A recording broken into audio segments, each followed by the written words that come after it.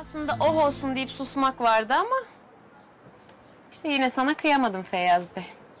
Sen onu benim külahıma bile anlatamazsın Seher. Ben içeri düşsem ne yapardın lan sen? O kokuşmuş halanla birlikte kime dayardınız sırtınızı? Bak ben Mehmet'le konuşacağım. Yani... Feyyaz abim kızıyor. Bırak peşimi diyeceğim. Demeyeceksin. Dua et de o seni bırakmasın. Ne diyorsun sen ya Feyyaz? Saime'nin gözü üstümüzde. Kim bu Mehmet? Niye seni şikayet etti deyip durdu. Ben de Seher'in sözlüsü dedim. Kavga ettiler. Kıza yardımcı olayım derken başımıza iş aldık dedim. Ya nasıl böyle bir şey yaparsın sen Feyyaz? İnadına mı yapıyorsun? Sen şimdi göz göre göre beni Mehmet'e mi bırakıyorsun yani? Dizini kırıp oturacağın yerde o ite kuyruk sallarken düşünecektin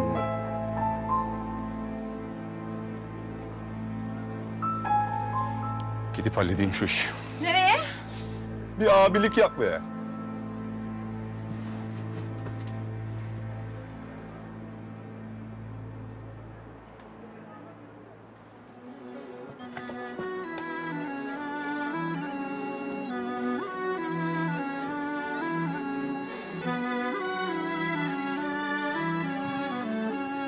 Kolay gelsin.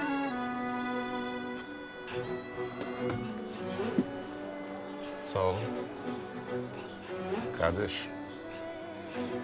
Şu seninle bizim kızın meselesini bir konuşalım.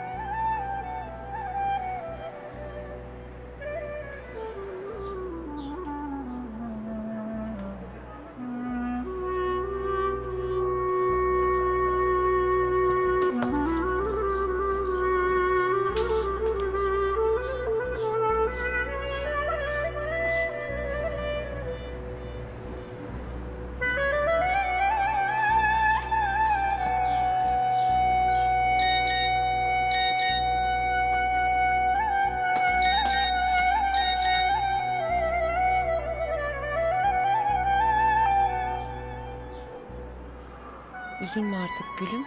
Konuştuk, anlaştık biz.